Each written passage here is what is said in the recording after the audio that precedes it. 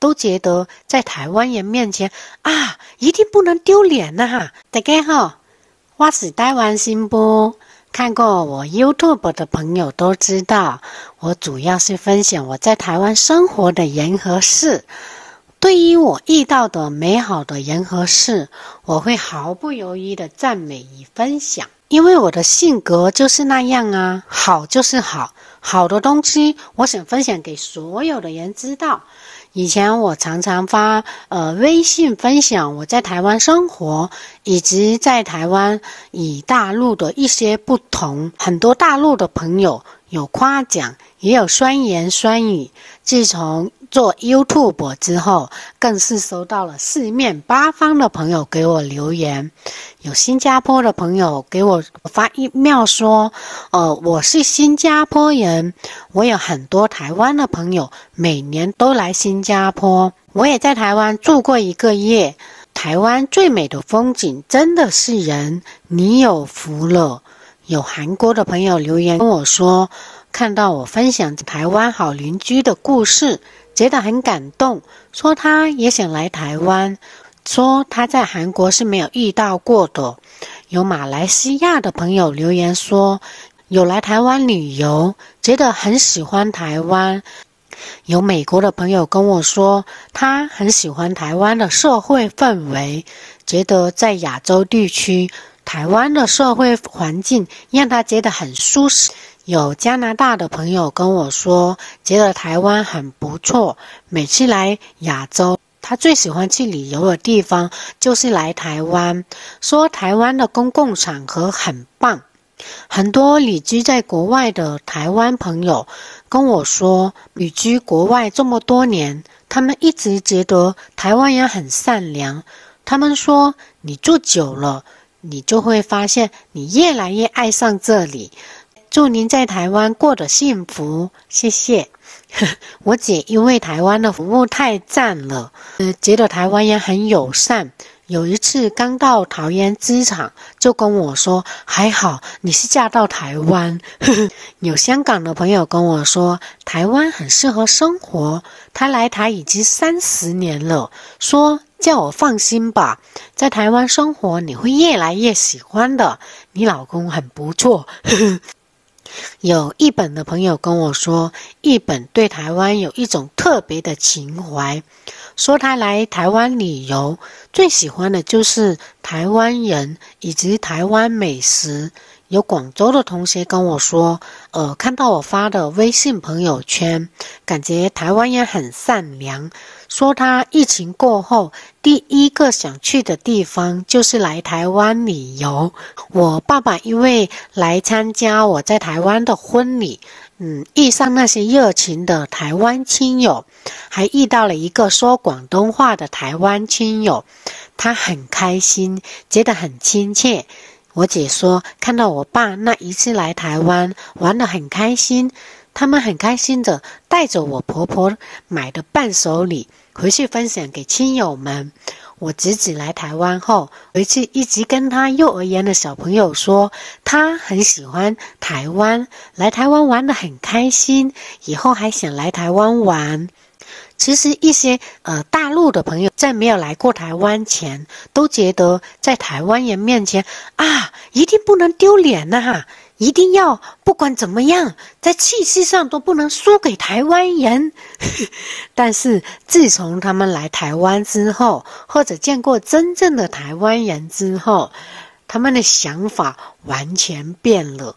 因为台湾人讲究互相，言语带着谦卑，一般不主动欺人，这种态度让他们之前的一些想法完全变了。我很高兴认识了少数几个价值观，我觉得主要的差异是会感恩当下，感谢生活。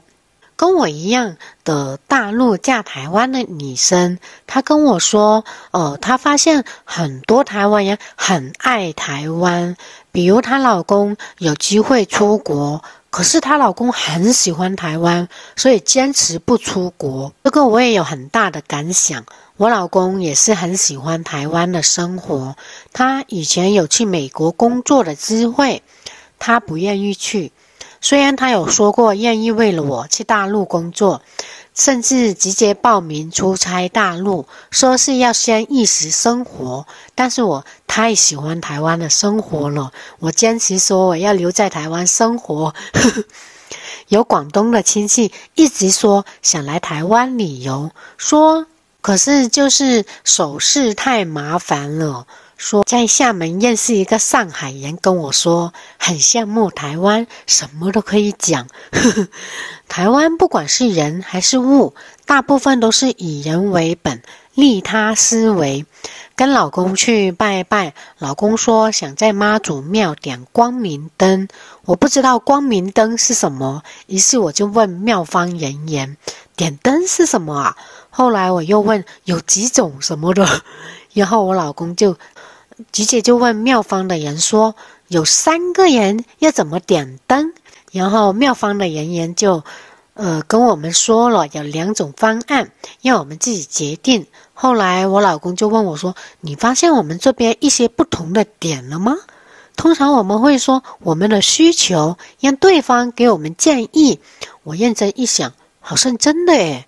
我以前在大陆做采购这么多年，通常都习惯问对方有什么，然后自己再结合自己的需求来决定。”但是在台湾，常呃就常常是客人说需求，老老板很诚心的、很有良心的给你适合的建议。比如我们去拍婚纱照，我老公就跟对方说：“哦，我的预算多少？”然后对方就会问你在哪里宴客啊，有没有请化妆师啊、摄影师啊等等，然后再结合客人的需求来推荐适合你的方案。说实话，我来台湾那么久。从来没有遇到过那种，因为我是大陆口音就坑你的老板。觉得台湾小老板做生意也是很有原则，不会为了赚钱而赚钱。台湾人都习惯利他人思维。你们是不是觉得我好像有点离题了吗？这些跟幸福感有什么关联吗？有的，社会所有问题就是人，人好，一切都好。人的主观感受是很重要的。如果你出门常常遇到呃一些没品的人，你肯定觉得你那一天很倒霉吧？如果你去买东西被坑被蒙，你肯定很不爽吧？如果你出门车子被刮了，对方还反过来骂你说有车了不起呀，你肯定也很烦恼吧？真心是骗不了人的，好就是好。我喜欢在台湾的生活，就是喜欢。我觉得幸福，我就拍拍手。我觉得在台湾生活很快乐，我想跟全世界的人分享我的快乐。人最大的幸福就是做自己啊，想吃什么就吃什么啊，想说什么就说什么啊。虽然我有很多话还是不能说，虽然我生在自由民主的土地，但是因为和谐，你懂的。我不能太嗨啊，我还是要压制自己啊，不能过头啦，到时候像泼妇骂街一样就惨了。自由还是得自立，得有限度。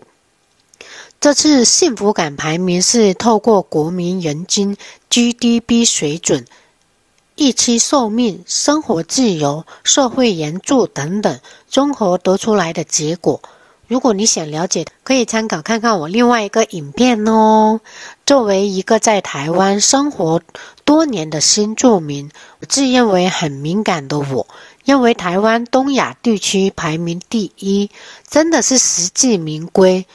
没有来台湾生活之前，我一直很羡慕同学朋友出国留学、移民加拿大、澳洲、美国等等。看到他们发的朋友圈，环境多么的美啊，空气多么的好啊，住着有大院子的独栋房子，觉得很是羡慕。想再想想自己苦逼的工作，想出国还不够资格。曾经一直努力的想写好英文，想出国打工度假，想感受一下他们那种生活啊。当然，出国打工，十四亿人抢一千个名额，肯定轮不到我啦，所以就只能望图兴叹啦。后来来台湾生活之后，我已经忘记呃那个曾经一直羡慕那些移民加拿大、美国的人了。我常常发朋友圈，反而一些呃移民加拿大、美国的朋友问我有没有去领台湾旅游券呢？有没有去领称心券呢？有没有去领夜市券呢？等等，变成是居然有时候他们会留言说羡慕我了。以前我天天留言说羡慕他们的留学生活的说，哼，老公常说。政府不可以只讲小确幸，但是人民可以。所以，如果你在台湾感觉到幸福，就拍拍手；如果你在台湾生活感觉到快乐，就大声的说出来吧；如果你在台湾生活感觉到骄傲，就为台湾点个赞吧，告诉台湾人他们是有多么的棒，然后让我们一起把这种美好的事物。一直保持下去，在这片土地上，让生活的成绩越来越好。好啦，今天就先分享到这里啦，拜。